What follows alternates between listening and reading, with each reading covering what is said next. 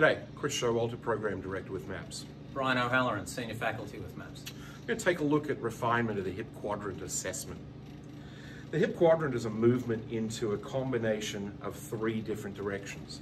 The first is flexion, the second is internal rotation, the third is into adduction. We start out by gently draping our hands over the top of the knee. If the patient's knee allows and can go down into flexion, we can leave it there. If they can't tolerate that, we can come underneath the knee, take some pressure off the knee. So we can take them into flexion, and what we're looking for is R1, R1, R1, and as necessary, going all the way into R2. Michael, you let me know if this bothers you. You okay there, brother?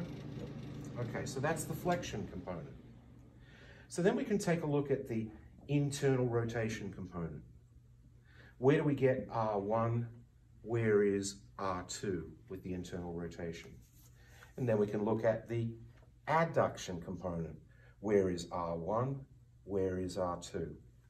Now we can combine them together.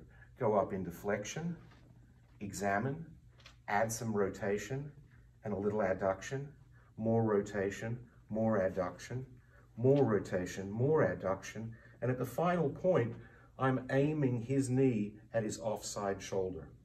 So I'd like to point out a couple of things that are characteristic of what Chris is doing that needs to be the manner in which we perform this. I like to joke, but really it's not a joke. I mean, manual therapy is a full contact sport. Notice where Chris is in relation to our patient's leg.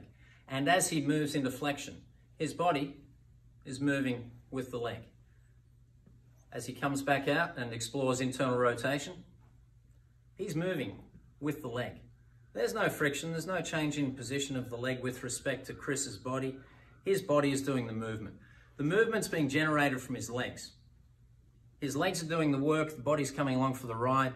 If he does that, he's got tremendous opportunity to be sensitive to resistance and be able to respond and react to the patient when they do report that response, whether it be pain or onset of discomfort, however they choose to describe it. But the body mechanics here are imperative. It's a body movement, it's movement with the extremity. What you do not want to do and what I choose not to do and I don't want to see is this. This, this. It's putting the body up close. Thanks.